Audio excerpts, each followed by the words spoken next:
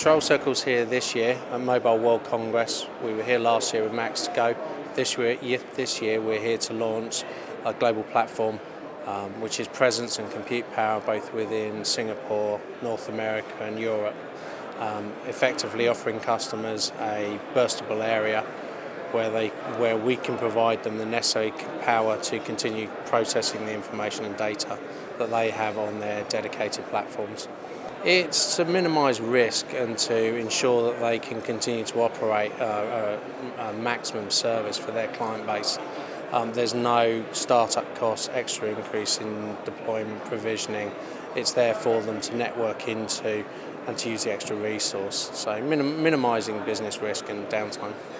It's to provide the compute power, in effect, to the customer base. For Control Circle, it's given us new market reach and addressing some of the challenges we have with our clients wanting to break into new markets.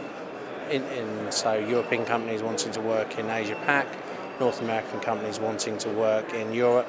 They don't want the year one costs, the hardware, etc. So Control Circle is really providing that ability to expand into new markets. Currently, we're engaged with several customers that want to break into the forensic and legal market in Europe.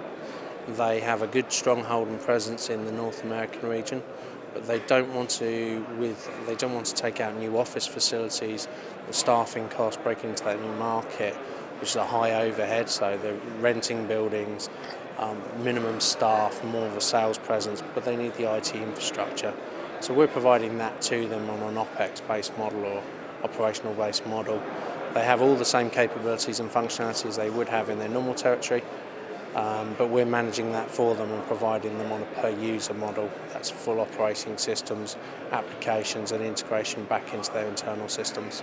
Customers have shown a, a real interest and willingness to adopt the new cost model and actually to look to move towards a more managed serviced operation um, where they can show costs and cost overheads, but they can also show a business advantage whether they can break into new territories without some of the risks and or perpetual licensing costs and operational overheads that they would have with internally within their organisations.